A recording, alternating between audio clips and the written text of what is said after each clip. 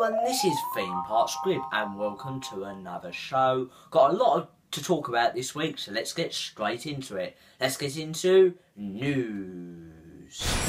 Firstly, I'm going to talk about what I saw had changed at my visit to Alton Towers at the weekend. We only went there for a short time so we could listen to the England v Sweden game. But I did go for a short time, mainly to do Wicker Man again. It's a really good high class roller coaster.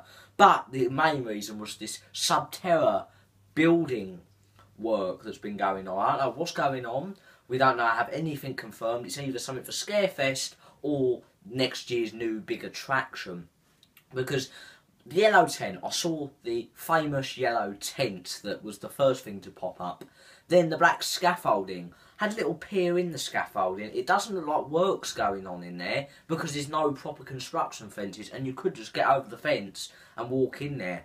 But there's like some fences going in that looks like a queue and there's a mannequin. I do not know what that mannequin is doing in there, but there's a mannequin. So the next update is, so first it was rumours, yellow tent, big black scaffolding and now a mannequin. So we don't know what's going on with that building. Hopefully it's not a removal. Hopefully it's a new attraction. I hope it's a new attraction for next year because those drop rides really need to get used. And I hope it's not a Scarefest maze because knowing Scarefest, it will be like £5 entry into it like the other mazes. Last year it worked out 25 quid if you wanted to do all the mazes.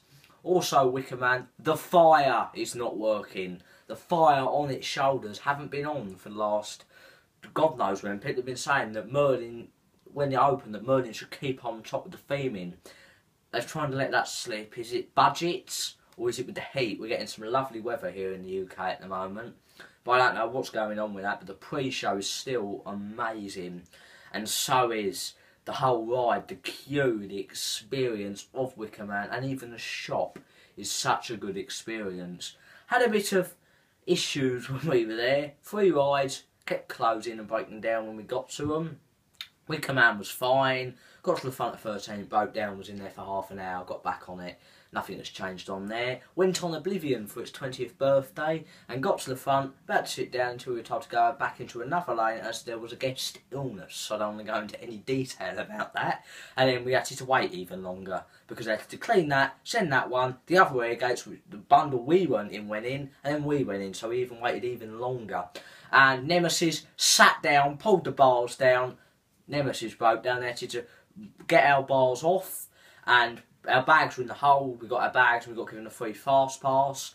But we didn't use the fast pass because all the rides we didn't do in the day were on there, and the only rides that were on the fast pass that we didn't do were Galactica 13 and Smiler. Galactica broke down when we were having our lunch outside it, and we couldn't be bothered to walk all the way up to Rita's. We were making it our last attraction. We were going to make this ride our last attraction, so we were going to go on the Smiler. That was break, broke down when we were walking up there, so we just went on Spinball Wizard instead, which had a 10 minute queue, which is a surprise for that attraction, as it always gets very busy of families, and it's the throughputs of the attraction are really bad throughputs.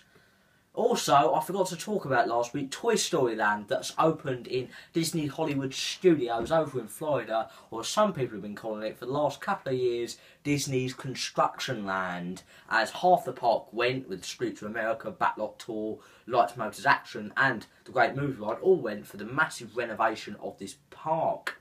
Toy Story Land was the first phase. This is a fantastic area. It looks really well themed to shrink you down to the size of a toy. It has came along with two new rides and a new entrance slash queue for an old attraction.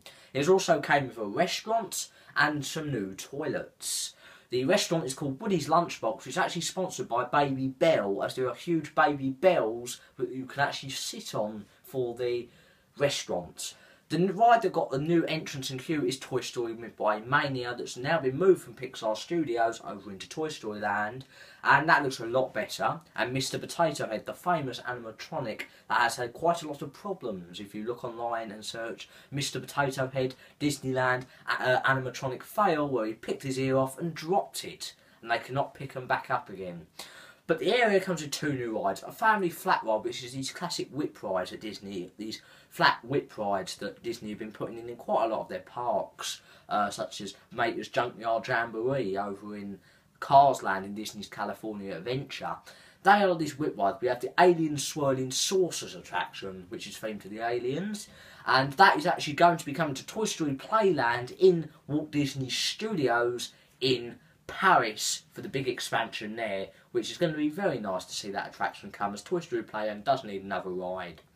The new coaster in the area, a, fa- a Mack family launch coaster called Slinky Dog Dash. This looks very well themed and looks like a very good family coaster. And what I'm going to say is Chessington really need to get a Mack family launch coaster. I think it will work perfectly on that big grass area opposite Dragon's Fury, which has been left there for ages, and I think a Mack family launch would be perfect for Chessington. That's it for news this week. Let's get into merchandise. With merchandise, we are going to be showing you some Oblivion merchandise for its amazing 20th birthday. As you think of it, Oblivion was the world's first vertical drop roller coaster. If we never had Oblivion, we would never have had such amazing rides out there in the world, such as Saw the Ride, Rage, which is at my local park. We would never uh, Venture Island. We'll never have some amazing dive coasters such as Valravn, SheiKra, and the brand new Valkyrie. We would never have any of those rides if it wasn't for this coaster. First, I did get the mug, which is this new style of mug that they started doing at Alton. They're quite um, they are what they do on the smaller rides such as Jewel, Mine Mine Train, Congo River Rapids. So it's black inside, black handle. It's got this very nice logo with like the, the hull of Oblivion with 20 and the O is the Oblivion sign, which is really nice. As Nemesis didn't celebrate its 20th birthday, it did celebrate its 21st back in 2015, where they changed the on the, all the Nemesis logos, the I and S, the S and I were changed round on Nemesis logo. Also, I did get the T-shirt, which is black and has the same design of that Oblivion 20 on it, which I think this is the branding. Very nice branding, I think. It's nice branding to celebrate 20 years of a roller coaster. Also, the tag on the Oblivion T-shirt is not an Oblivion tag. It is Oblivion the Black Hole, which was a dive coaster opened in Gardaland back in 2015, which is a park in Italy that Merlin do own that is not Oblivion. That is Oblivion the Black Hole. Maybe it's probably not linking to a rename of Oblivion. It's probably just budget cuts, as all the T-shirts for Oblivion did have Oblivion the Black Hole labels. That's it for merchandise this week. Let's get into Guess the Ride. Speaking Guess the Ride, oh, or last week's Guess the Ride, that is Vampire, a fantastic family coaster at Chessington World of Adventures Resort. Chessington really need a new coaster, and I think a family launch would be fantastic for Chessington, and maybe they could theme it to like the jungle. I think it would be a great addition if they do go down that route in the future, as it will bring more guests in. And I would love to see a family launch in this country because we haven't got one yet. This week's guest ride is a ride that opened in 2000, so the Millennium in the UK and it is a Vekoma Madhouse and was designed by Jonathan Wardley and was based around a legend. If you know what that is, put it down in the comments down below and you'll get a shout out in next week's shout out section of the show. Let's get into shout outs. Let's get straight into the shout outs. First we have the guest ride which was Vampire from Connor Hollins, James Beaver, Theme Park Magic and Theme Park Merlin. Well done for getting the ride correct. Next, we have the comment YouTube comments from Slothy Vlogs and the Corey Turner Show. Thank you for commenting. Next, we have the Twitter likes and retweets from TJ and Park Boys. Thank you for liking and retweeting.